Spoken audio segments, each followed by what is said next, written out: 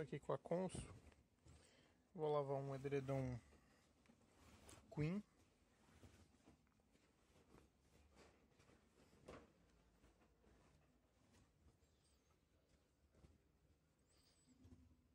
Tá tranquilo para por tamanho da lavadora. Vou começar no ciclo edredom.